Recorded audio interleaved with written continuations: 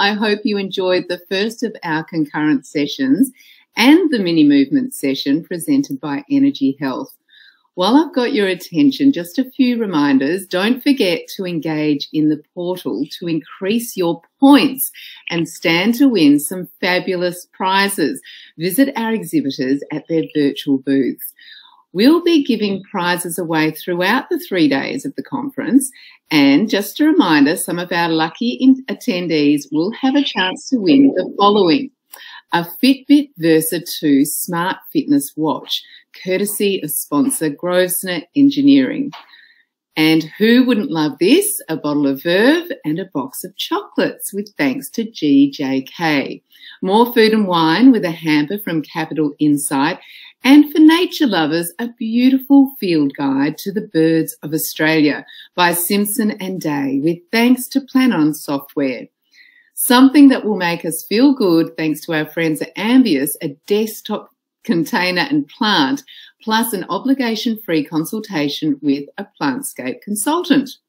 Lastly, from our hosts, ATEM and TEFMA, we'll also be giving away three $100 gift vouchers of the winner's choice. Coles, Myer, movie vouchers, good food vouchers, whatever you'd like to, to the value of $100 for each lucky recipient. And there will be six of them over the next three days. Click your points tally to see a list of ways to earn. The more points you accumulate, the more tickets you have in the prize draws. We all know that TEMC delegates love a challenge. There are some trivia questions within the goals to help you boost your points.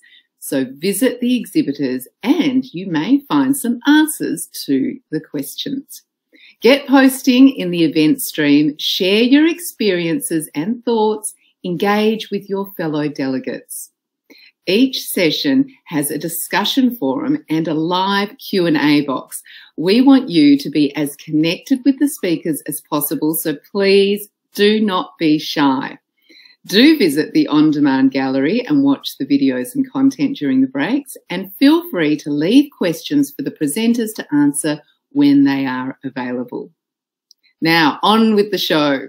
Welcome back. If you've just joined us again, it's my pleasure to introduce our next keynote speaker, the passionate Toltu Tufa, presenting on the death of your native dialect, why the language you speak matters. Thank you, ARM Architecture, for sponsoring this very important session. A little bit about Toltu. She is a psychologist who has worked across a wide range of industries from sales and education to health and the justice system. As an award-winning educator and TED speaker, Toltu is known for reviving Africa's fourth most widely spoken native language, Afan Oromo. She has been invited by governments and organisations around the world to consult on matters relating to education and native language retention. With over 20 years of community and educational experience, Toltu is obsessed with finding new ways to create connected and vibrant communities.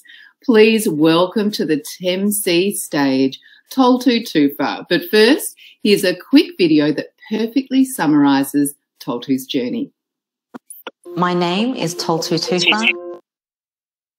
I'm of dual heritage, so my mum's Turkish, my dad's Oromo, and both of them went out of their way to teach us their language. The difference between the two was that my identity as a Turkish person was never contested, whereas my identity as an Oromo person was contested every single time. As far as I was concerned, it was a secret language of sort that, that only my dad knew how to speak. Hmm? The Oromo people represent the largest indigenous population in the Horn of Africa, particularly within Ethiopia. The Oromo people's language was banned for more than 100 years.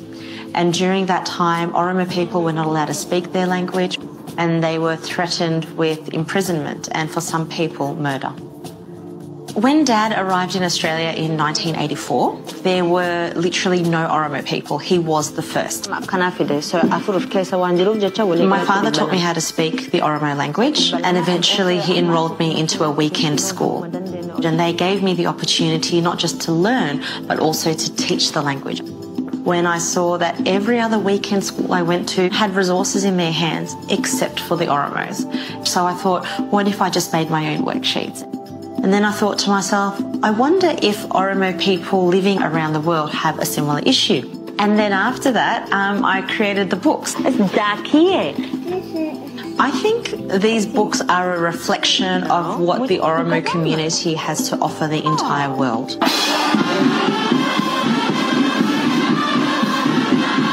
I was invited to attend the 2019 Irreecha Peace Forum, which uh, coincides with a Thanksgiving ceremony that was being held in the capital city of Oromia in Ethiopia for the first time in 150 years.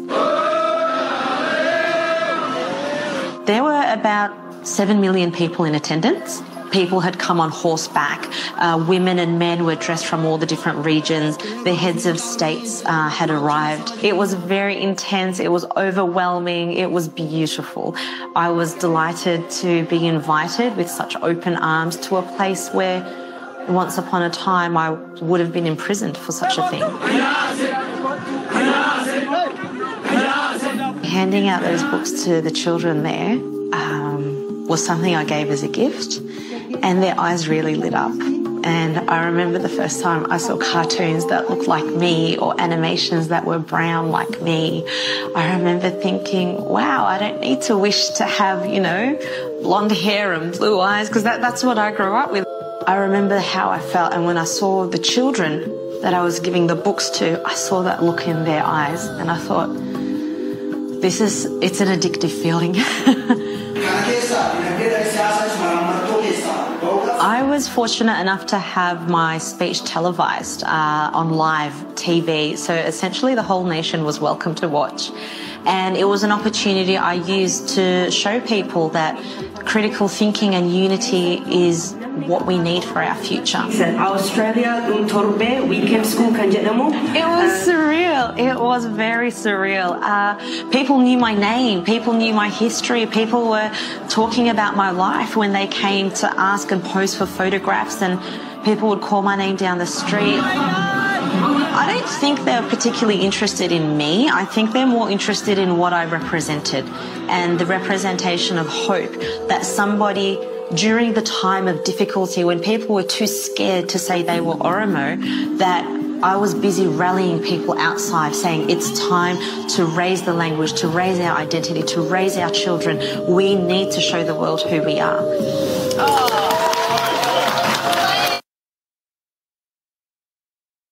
And welcome. It is so wonderful to be able to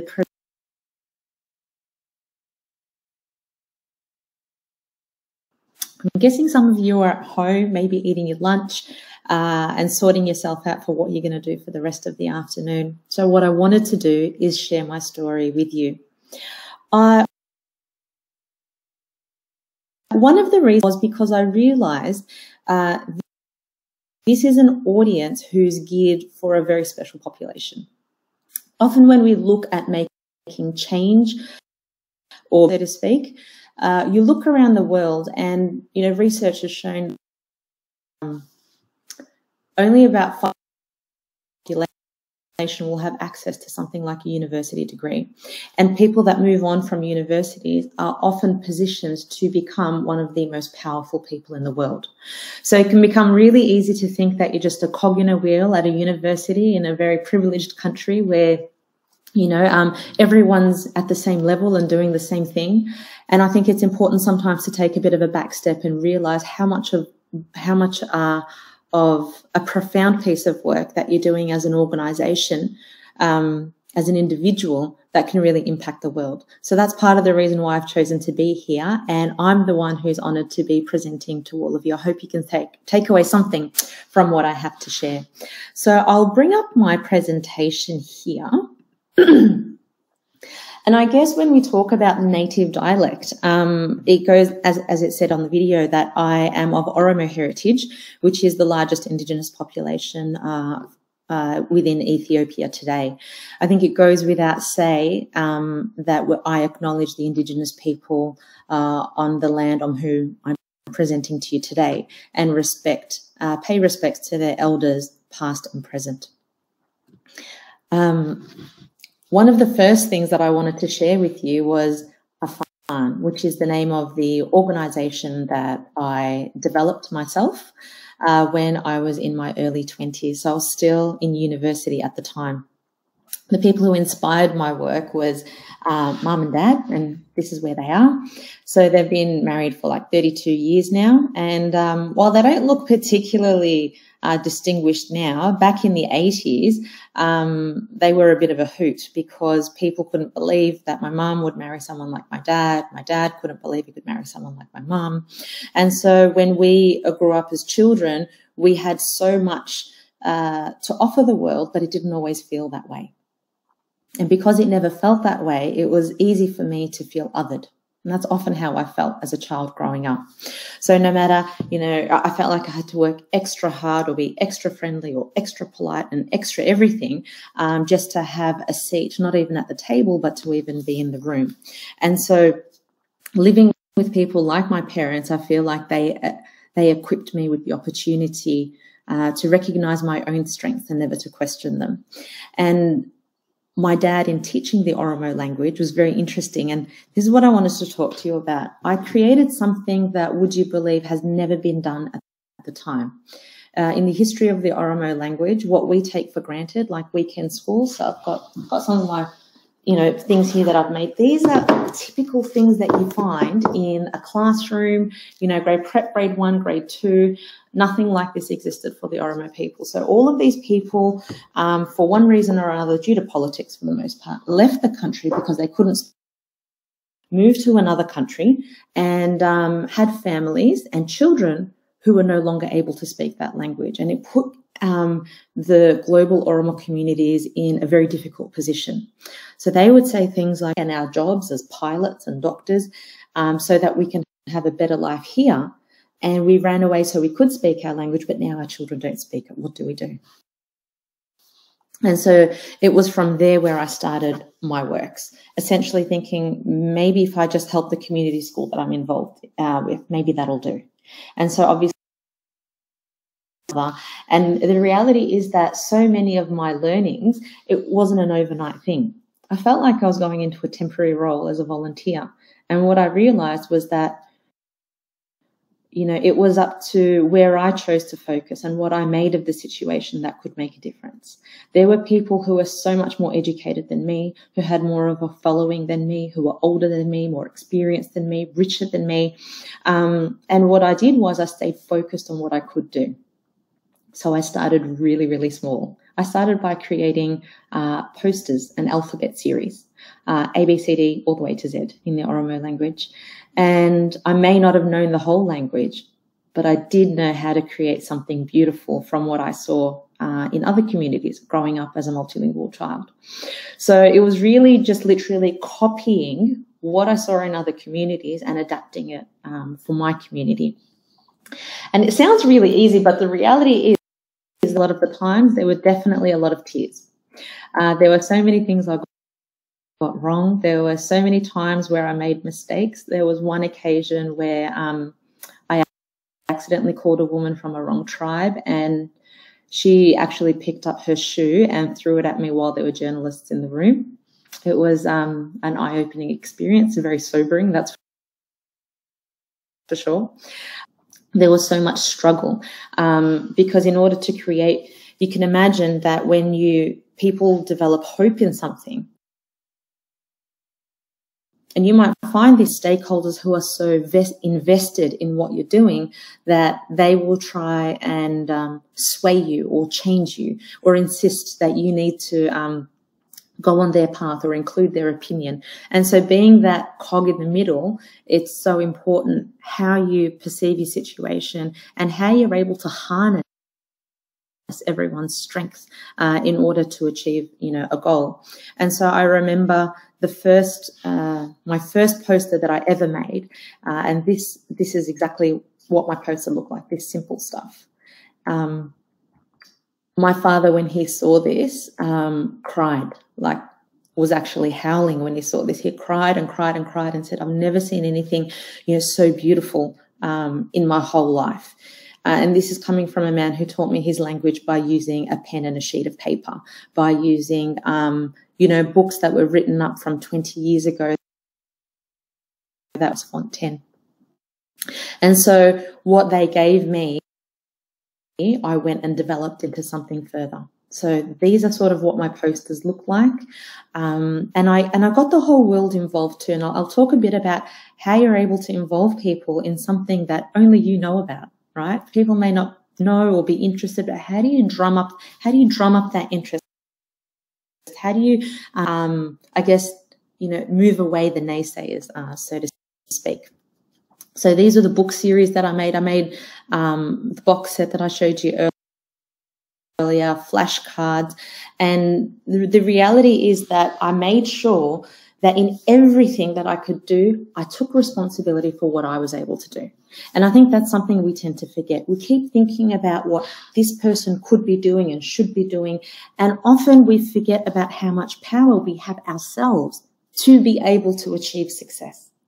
What success looks like is something that can be defined by you.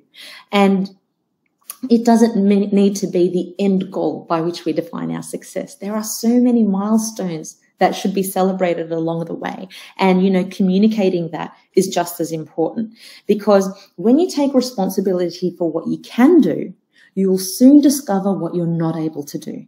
And the more honest you are about what you cannot do or don't have access to, then the next thing you can do, and this is the second thing that I did, I guess to summarize, is um, leverage what you have to attain what you don't have right? So at the time when I was developing this, I was a uni student. I had something on my hands called time, something I don't have too much of right now. So I had time on my hands. I didn't have the money, right? I had the know-how. I didn't have the knowledge. So in order to be able to leverage what I to people and found those people who I could harness into the vision. I didn't try and convince one person to do everything. I told them I'm planning to make a poster. I'm planning on releasing this to uh, communities. And if they're interested, they can come and help me. Uh, are you able to help me with doing the spell check for these letters? Are you able to help me to say if I'm using the appropriate words? And I guess the biggest leverage that I used was to put myself out there. Again, when I knew what I didn't have, and for me, that was money. I didn't want to waste my time if no one was going to invest in what I was about to do. So I made a video and I released that on social media and among Oromo people, the video went viral very quickly. So I said to them, if you're interested in this vision, if you want to support me in doing this, I need you to um, give me $50,000 and then I will deliver. And so the way I arranged for that is um, I gave people different options. So those who had money could help in this way, those who didn't have money could help in that way. And I essentially got communities to suggest fundraisers. And within, so I said, oh, and I gave a four week timeline. I'm like, whatever you can give me in four weeks will help me to determine whether I can actually, you know, do this or not. And so within four, within two weeks, um, 25 cities around the world saw, watched my video, got in touch and took responsibility saying, we are going to do a fundraiser within the four weeks that you're trying to raise. And so bringing people together. So I was able to set up a calendar, broadcast what everyone was doing, saying on this day it'll be in Egypt, and that day will be in Kenya, and this day will be in the US. And communities started competing with one another for something they all wanted, which was their children to learn their language. And I think the most touching response, the most touching event for me was um, from the community in Egypt. There's a big refugee population there at the moment. And they said, look, we are all United Nations mandated refugees, but we we don't have money, but if you give us some money to hire a hall, we can throw a really big party and drum up some attention for what you're doing.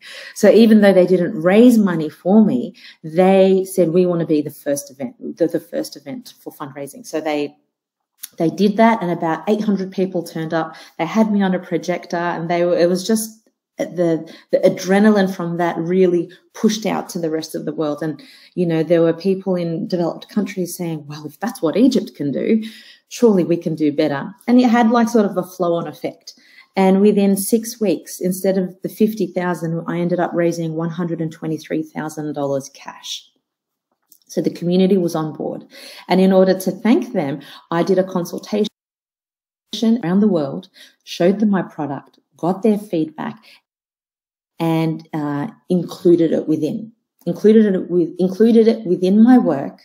And when I actually published everything, I used because I raised so much more money. I, I I apportioned a budget to go back to the top five countries, take the books with me, and give it to the people who raised the most. And that was the, the formula, the third, which was my realization that I was able to attain success when I enabled other people to join in my success by whatever means they had. And that was the most important thing. So what happened was, um, uh, the whole project took over about two years. And in that time, I had, for example, in one of my books, which was originally meant to be an ABC book, I had an older woman participate. And I, said, I and I just said, what do you think of this? And she said, this is amazing, but I can't help but say that you're ruining my experience of the language. And, and everyone was like, oh, stop being a naysayer. You're an old woman. She's young. You need to encourage Toltu to keep going. And it was important for me to hear what she had to say. And what she said changed the course of my books, all of my series. And she said, I speak the language, but I don't know how to read and write. And when, when I buy these books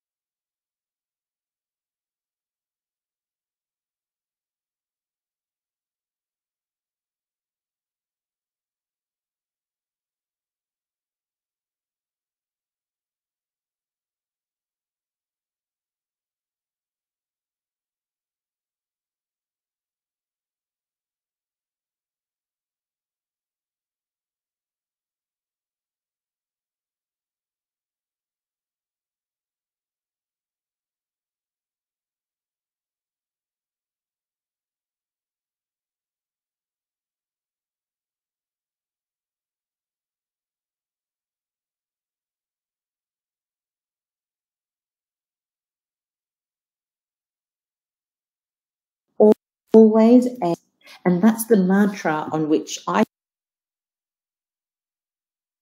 used to end, uh, uh, and do the entire Afan series.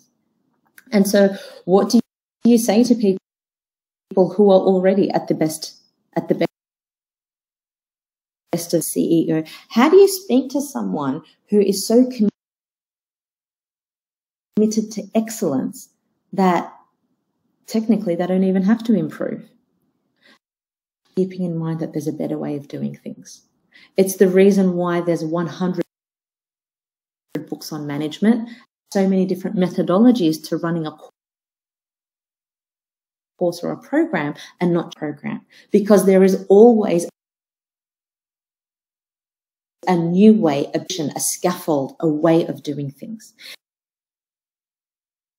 And all of those me, people like us think, and what if we gave that a go? Because the people, university students, these are people who are literally able to be molded in ways of our future. People like you in their lives. So I'd never take for granted that you have on people around you, whether it's your colleague, come from another country who's never been recognized as an individual, who may, uh, you know, thrive and strive for everything they wanted in there to get it here.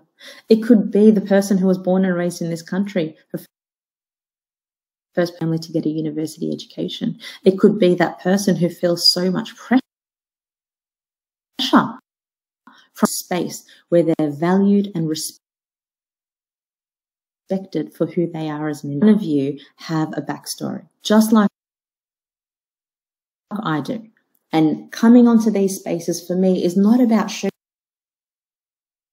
because I never put those accolades on myself. They were things people, my community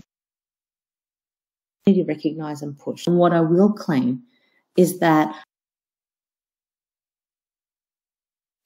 I question my strengths. Your strengths are